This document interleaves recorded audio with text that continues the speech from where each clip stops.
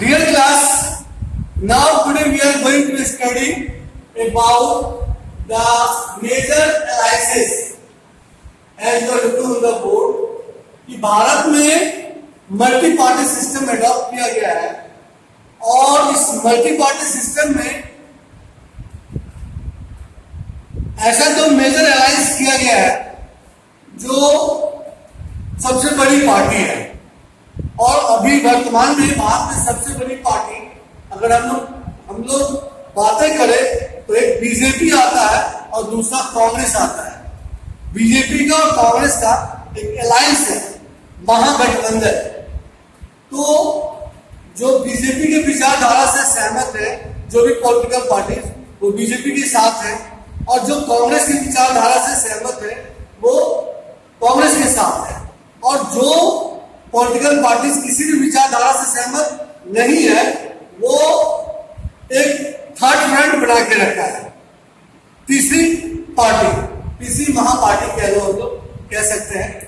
As on the board well seven party join hands for the off contesting election और winning power it is called the alliance जब बहुत सारी political party मिल करके एक साथ हाथ मिलाते हैं और उनका पर्पस होता है एक साथ चुनाव लड़ना, एक छत के नीचे, एक umbrella you can say that right word is the umbrella एक अम्ब्रेला के अंदर वो लोग चाहते हैं चुनाव लड़ना तो उसको हम लोग अलायंस कहते हैं। ऐसे पार्टी जो एक साथ मिल करके चुनाव लड़ते हैं, वैसे पार्टीज़ को अलायंस कहते हैं। ऑलरेडी दो मेजर अलायंस है एक एनडीए नेशनल डेमोक्रेटिक अलायंस और दूसरा है यूपीए यूनाइटेड प्रोग्रेसिव अलायंस ये बेसिकली बीजेपी से जुड़ा हुआ है, और ये तुम्हारा कांग्रेस से जुड़ा हुआ है। ये दो मेजर अलायंसेस है as well on the board और जो बच गया है जो बीजेपी की विचारधारा से या फिर कांग्रेस की विचारधारा से सहमत नहीं है तो अपना थर्ड फ्रंट बना के रखा है तीसरा महापार्टी बना के रखा है इस country develop a party system that is conditions by its special. For example, it is because the social and the geographical diversity in such a vast country प्यारे बच्चों है जैसा कि आप देख रहे हो कि जितने भी देश हैं डेमोक्रेटिक कंट्री वहाँ पे एक का एक पार्टी सिस्टम डेवलप किया है। जैसे कहीं पे सिंगल पार्टी सिस्टम है, कहीं पे ड्यूअल पार्टी सिस्टम है, और कहीं पे मल्टी पार्टी सिस्टम है। India is the best example of multi party system तो इंडिया ने मल्टी पार्टी सिस्टम एडॉप्ट किया है। क्योंकि इसके लिए एक स्पेशल सर्कमस्टेंसेस है भारत के साथ कि इंडिया में सोशल और जोग्राफिकल डाइवर्सिटीज है। सोशल में कास्ट आ जाता है रिलीजन आ जाता है और जोग्राफिकल में कहीं माउंटेन आता है, कहीं प्लेटू आता है, कहीं डेजर्ट आता है, कहीं कोस्टल एरिया आता है। तो ये सारी डाइवर्सिटी की वजह से इंडिया में एक सेपरेशन आता है, एक ग्रुप फॉर्म होता है इसलिए इंडिया में एक मल्टी पार्टी सिस्टम एडॉप्ट किया गया है। Dear class today we will discuss about national parties and regional parties जैसा कि मैंने आपको बताया India adopted the multi party system तो इस मल्टी पार्टी सिस्टम में मैंने ये भी आपको बताया लगभग 750 political parties are registered in the election commission of India in the office of election commission of India which is situated at Delhi in these seven hundred fifty political parties some are national parties and some are regional parties तो किसी party को national party या किसी party को national regional party का दर्जा कैसे दिया जाता है? तो इलेक्शन कमीशन ऑफ़ इंडिया ने एक गाइडलाइन इशू किया है कि जो पॉलिटिकल पार्टीज़ छ परसेंट वो लोकसभा में लाएगा या कम से कम चार सीट्स चार सीट पे उसका अपना अधिपत्य होगा किसी स्टेट इलेक्शन में तो ऐसे पार्टीज़ को नेशनल पार्टी का दर्जा दिया जाएगा। As your looking on the board national political parties national political parties are country wide parties ये क्या है? कंट्री वाइड पार्टीज़ है। पूरे देश में, पूरे भारतवर्ष में इस पार्टी का एक अपनी पहचान है और इसका अपना एक वर्किंग एरिया है। Programs and strategy that is decided at the national levels. इस पार्टी का अपना जो प्रोग्राम है, या स्ट्रेटेजिक अर्थात जो इसने अपने एजेंडा डेवलप कर रखा है, उसके तहत ये नेशनल लेवल पे काम करती है जो राष्ट्रीय हित की मुद्दा होती है, वैसे सारे टॉपिक्स जो नेशन से रिलेटेड है, उसके ऊपर ये पार्टी काम करता है ये राष्ट्र को मज़बूत, सुव्यवस्थित, सुसंगठित, सुदृढ़ बनाता है। फॉर एग्ज़ाम्पल भारतीय जनता पार्टी को ले लो। बीजेपी जो आज प्रेजेंट टाइम में जिसकी गवर्नमेंट है, भारतीय जनता पार्टी एक नेशनल पार्टी का एग्ज़ाम्पल है। इंडियन नेशनल कांग्रेस आप ले लो, वो भी नेशनल पार्टी का एग्ज़ाम्पल है। A party that secure eighty six percent प्यारे बच्चे इसको ध्यान देना है। कोई भी पार्टी जो किसी भी लोकसभा लोकसभा में कितने सीट्स होते हैं? लोकसभा में 545 सीट्स हैं।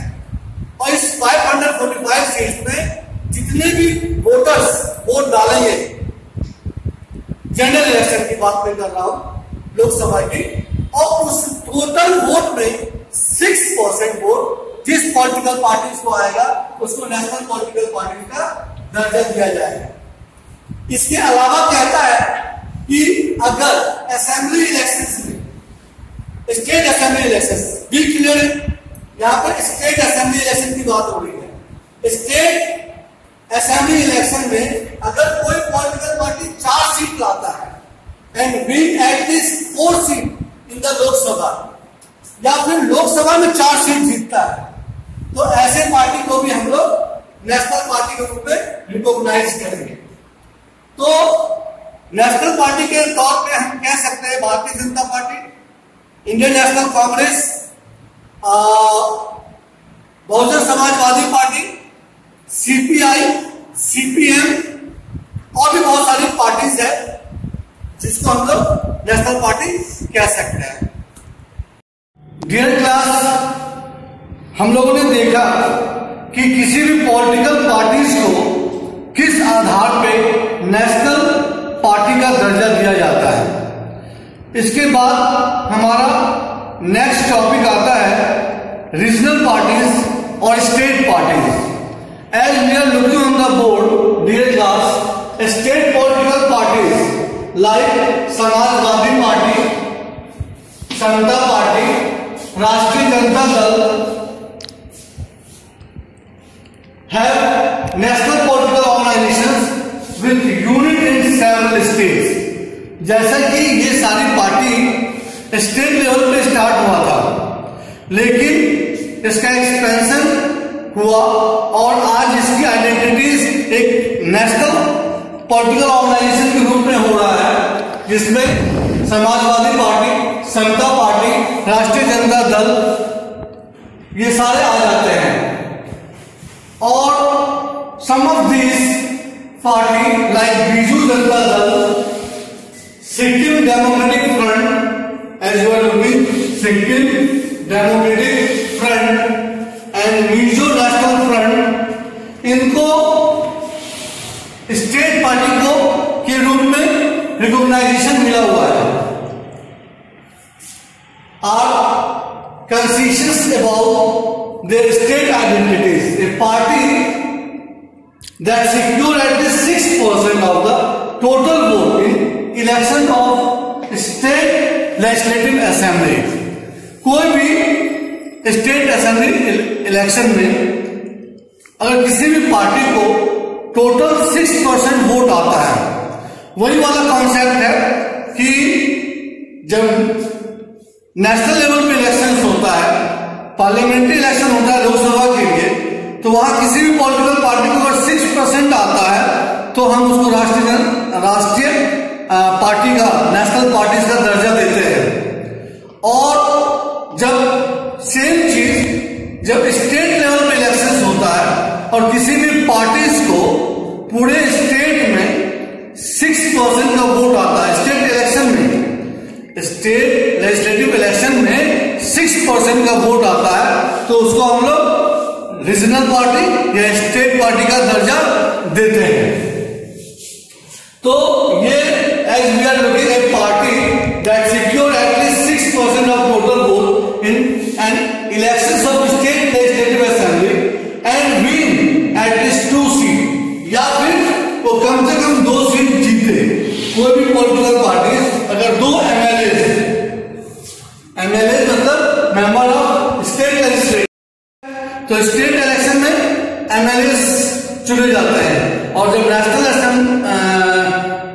के इलेक्शन होता है तो वहाँ पे हम लोग एमपी को चुनते हैं, अर्थात मेंबर ऑफ़ पार्लियामेंट तो दो एमपी किसी भी स्टेट में, किसी भी पॉलिटिकल पार्टीज़ को मिलता है, किसी पार्टिकुलर इलेक्शन में तो उसको रीजनल पार्टीज़ या स्टेट पार्टी का दर्जा दिया जाता है.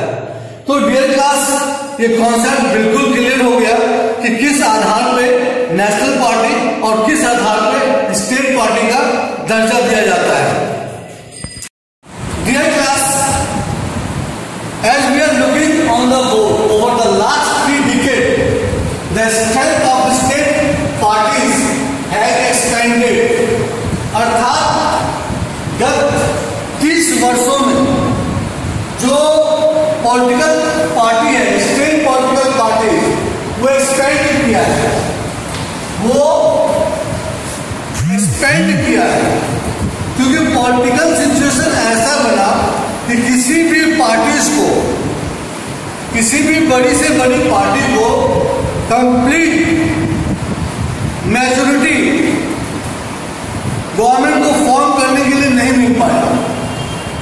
अर्थात as we are aware the concept कि किसी भी गवर्नमेंट को फॉर्म करने के लिए, चाहे वो सेंट्रल गवर्नमेंट फॉर्म कर रहे हैं, स्टेट गवर्नमेंट फॉर्म कर रहे हैं। कॉन्सेप्ट ये है कि चाहे लोकसभा हो या स्टेट लेजिस्लेटिव असेंबली हो, उसका जो भी स्ट्रेंथ है, उस स्ट्रेंथ को हम लोग टू से डिवाइड करते हैं और उसमें प्लस वन कर देते हैं। अब इतनी सीट्स जो भी लाएगा, वही गवर्नमेंट फॉर्म कर सकता है। तो लास्ट थ्री डिकेट्स मैं अभी के इलेक्शन की बात नहीं कर रहा हूँ। प्रेजेंट टाइम में इलेक्शन इससे पहला इलेक्शन एक स्टेबल गवर्नमेंट इंडिया को दिया है। देखिए बीजेपी की गवर्नमेंट अभी रनिंग गवर्नमेंट है। But I am telling you before the BJP government पिछले तीस साल से एक मिलीजुली सरकार बन रही थी, एक कॉलिशन गवर्नमेंट बन रहा था। किसी भी पॉलिटिकल पार्टीज़ को, नेशनल पॉलिटिकल पार्टीज़ को, पूरी बहुमत नहीं मिल रही थी ताकि वो गवर्नमेंट फॉर्म कर सके। उसे हर वक्त स्टेट पार्टी से सहयोग लेना पड़ रहा है। They cooperation from the state parties तो स्टेट पार्टी का अस्तित्व बढ़ा। उसका एक्सपेंशन हुआ। No national party is able to secure on its own majority in the Lok Sabha. As result परिणाम क्या हुआ national parties compelled to form alliance with the state parties पिछले 30 वर्षों से भारत की है इंडिया के पॉलिटिकल सिस्टम की है। और इस पीरियड में जब एक अलायंस गवर्नमेंट फॉर्म होती है तो वो एक वीक गवर्नमेंट होती है।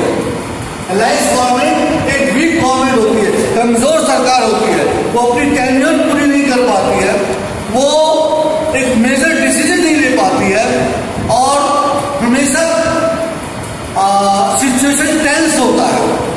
लॉ एंड ऑर्डर प्रॉपरली पूरे कंट्री में इंप्लीमेंट नहीं होते हैं, ऐसे सिचुएशन में। लेकिन जब स्टेबल गवर्नमेंट आती है फुल मेजोरिटी में गवर्नमेंट आती है तो वो एक मेजर डिसीज़न ले सकती है। वो लॉ एंड ऑर्डर में मतलब कमांड कर सकती है। और जब लॉ एंड ऑर्डर बिल्कुल स्टेबल होता है स्मूथ होता है, तभी डेवलपमेंट सोसाइटी का हिस्सा होता है, चाहे स्टेट का हिस्सा होता है, चाहे हम कह सकते हैं कि कंट्री का हिस्सा होता है। तो ये वर्ष कंडीशन था। इसीलिए कहा जाता है कि लास्ट थ्री डिकेट जो हम लोगों का बीता है, उसमें और स्टेट पार्टीज़ की अहमियत बढ़ी है। Political parties in our country now next point we are looking that political parties in our country are facing several challenges. अब हम लोग ये पढ़ेंगे कि पॉलिटिकल पार्टीज़ कौन सी प्रॉब्लम को फेस कर रही है। पॉलिटिकल पार्टीज़ को बहुत सारी प्रॉब्लम्स को फेस करनी पड़ रही है। जैसे सबसे बड़ी प्रॉब्लम हम लोग देख रहे हैं कि lack of internal democracy within the party किसी भी पार्टी में लैक ऑफ़ इंटरनल डेमोक्रेसी है। प्यारे बच्चों, इस बात को समझो। कोई भी पॉलिटिकल पार्टीज़ है, पर पॉलिटिकल पार्टीज़ के लिए भी एक मापदंड है, एक गाइडलाइन है कि उसे क्या करना है और क्या नहीं करना है। तो अगर इंटरनल डेमोक्रेसी की बात करें किसी भी पॉलिटिकल पार्टीज़ का तो पॉलिटिकल पार्टीज़ इंटरनल डेमोक्रेसी में आज के डेट में कंप्लीटली फेल्योर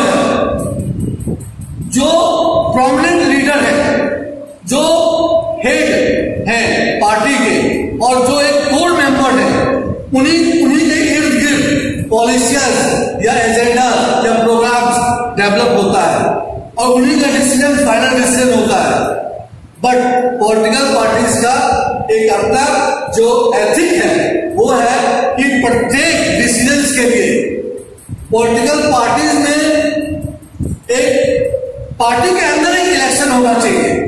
और जितने भी मेंबर्स हैं, वो मेंबर्स की सहमति लेनी आवश्यकता है उसकी पार्टीज़ को और जो एक्टिव मेंबर्स है, वो रजिस्टर मेंटेन होता है। प्रत्येक इंटरनल इलेक्शन का एक रिकॉर्ड मेंटेन होता है। बट ऐसा आज के डेट में कुछ भी नहीं होता है।